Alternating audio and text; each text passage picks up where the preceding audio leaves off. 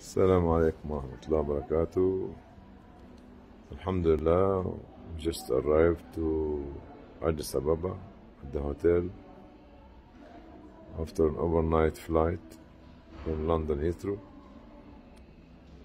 I was writing about authority and the definition of authority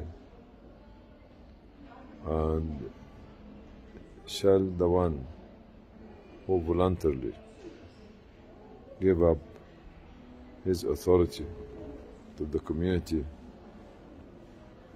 is being considered a fool, stupid, or someone who would like to empower his community. Alhamdulillah وصلنا لأديس أبابا بعد الرحلة أمس من لندن لأثيوبيا وأنا في الأوتيل الآن.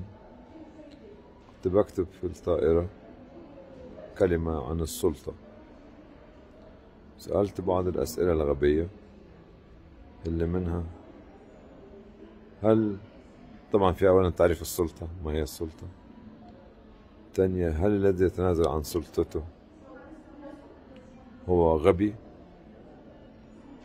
أو معتوه أو إنسان يحترم مجتمعه ويريد أن ينميه ويقويه هذه الأسئلة لكم يا شباب This question is for you young people to answer If you give up your responsibility, not your responsibility, your authority to others for the benefit of the community, are you considered to be daft, stupid, or smart? Would like to build the future of your community? The answer is with you. Assalamu alaikum wa rahmatullahi wa barakatuh.